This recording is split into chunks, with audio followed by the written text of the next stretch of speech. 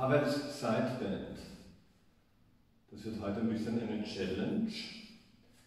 Involved einen Cross-Step, aber einen weiten.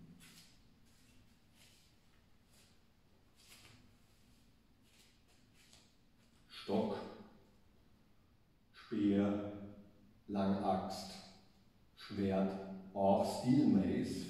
5 Kilo Vorschlag haben wir eigentlich hervorragend mit dem Gewicht auf einer Seite dafür. Über Stock, über Kopf.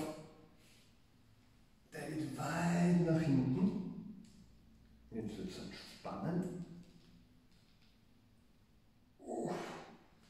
Okay, und in der Position dann beide Füße pressen in den Boden, Stock stemmen, Kinn leicht rein, C-Compression, Auseinanderziehen des Stockes, dann Seitbeugen, der Arm schiebt noch, der zieht zusätzlich.